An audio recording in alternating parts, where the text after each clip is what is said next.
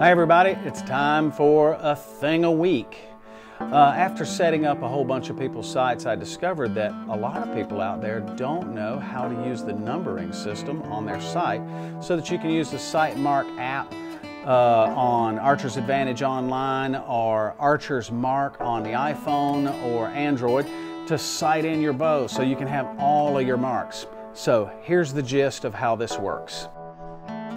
So take a look at the sight here. Now the, the sight has numbered graduations on the side here. Now the knob also has numbered graduations on the knob. So the first thing that you'll want to do when your knob is set to zero and it lines up with that little hash mark right there, you'll want to make sure that the sight is actually dead center, the sight indicator needle is actually dead center in a number.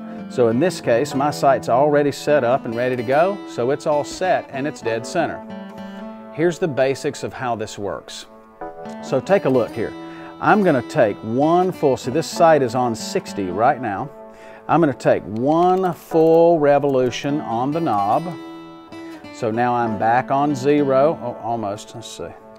I'm back on zero, and now the sight is on 61. So each mark is one full revolution on the knob.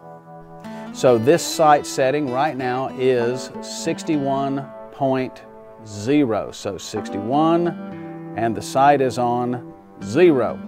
So now, if I sight my bow in and let's say my 60 yard mark is somewhere right here. So take a close look here on the middle of the knob. I mean on the, on the indicator needle there. So you see that it is uh, just a little bit, it's close to 59, but it's not quite 59. It's just one hash before 60. So if I take a look and I look here at the knob, it's actually 69.1. So you would enter 69.10 in your sight marking app. So take a look at the knob here. So the knob goes 1, 1, 5, 2, 2, 5, 3 3 5 4 4 5 5 5 6 so on and so forth. So if I look now, I see that my indicator needle is sort of in between 59 and 60, so my sight is now on 59.6. And then this would be 59.65 is one click.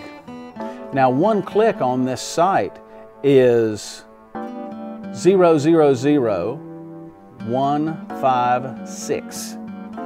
One click. So that's very precise. So you can be very precise at your sight setting. So just a little note. When you're setting up your sight, set up a horizontal line on your target so that you're dealing with only the horizontal axis when you're sighting in. And make the line that you set up as narrow as you can stand to aim at and you sight in a really good 20 yard mark and make it extremely precise, and then sight in a 60 yard mark and make that extremely precise. You can let your sight vary along the line horizontally as long as your pin is on the line when the shot breaks. You get that on the line, then feed those numbers into your SiteMark app, and it will give you back every single yard all the way from zero to 100 and whatever. So here's an example. I'm taking a look here and let's say I have range finded a target that is 42 yards.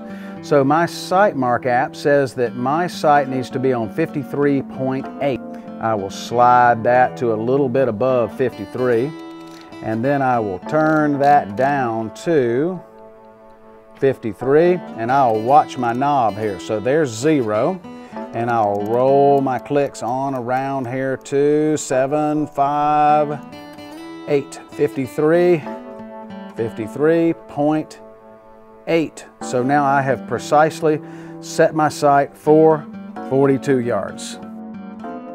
Usually the difference when you have like competitors, like you have the greatest of the great on target number one on a field archery uh, course or a 3D course or something like that. This has to be extremely precise because the difference between who gets to win and who gets to be second or third often comes down to who has the best sight marks.